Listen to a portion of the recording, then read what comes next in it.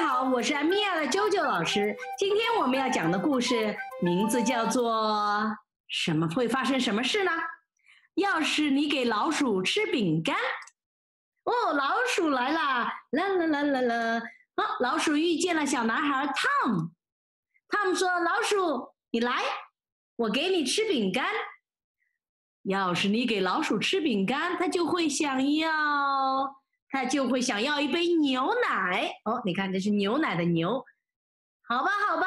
汤姆说：“你进来喝牛奶吧。”等到汤姆给了他牛奶啊，老鼠又说：“哦，我要一根吸管。”汤姆就东找西找的给他找吸管。吃完了，喝完了，小老鼠就说：“那你能不能给我一张餐巾纸呢？”哦，这是乐，你看到没有？汤姆给他找来了餐巾纸，他说：“我要照着镜子擦，我要看看我有没有牛奶粘在了我的胡子上。”啊，他一照镜子啊，发现自己的头发需要剪一下了，他就叫汤姆：“哎，你有没有剪刀呀？能不能借我剪一下呀？”汤姆给他拿来了剪刀，他把头发剪的到处都是。他说：“哎呀，对不起，对不起，我得把这扫一下。”那我不如把你整间房子都扫一下吧！哇，老鼠把他们家整间房子都扫了一下。哎，你看上面是房子的子。不但呐，他扫完了，还要用水把地板大刷大洗一下，刷刷刷，洗洗洗。哦，我累死了！老鼠干的累了，要睡一会儿。那 Tom 就用空的饼干盒给他做了一个床，再加上了妈妈的粉扑做枕头和手帕做被子。哇，老鼠，哇，这真的是好舒服呀！哎，Tom，你会不会念故事啊？哎，你看这是什么字？这是会。于是啊，Tom 就拿出书来给他念故事。小老鼠一看，哇，这本故事上书上的图片好漂亮，我也要画。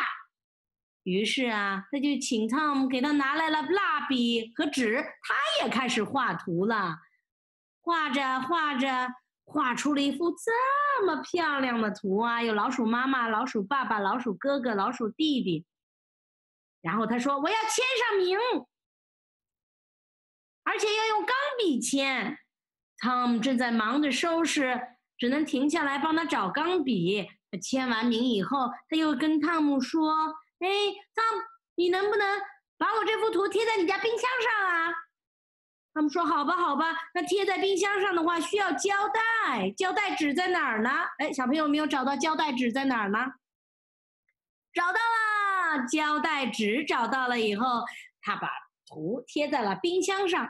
贴完以后，小老鼠欣赏了自己的图，突然觉得，哎，冰箱里面有没有牛奶啊？我口好渴啊，Tom。这时候，汤忙的都已经睡着了。汤，汤，什么事啊？我要喝牛奶，我口渴了。小老鼠又要喝牛奶了。既然它要喝牛奶，它需要什么呢？它就又要吃饼干啦！啊，又要吃饼干啦！好啦，今天这个故事就讲到这里了，小朋友们再见。Thank you.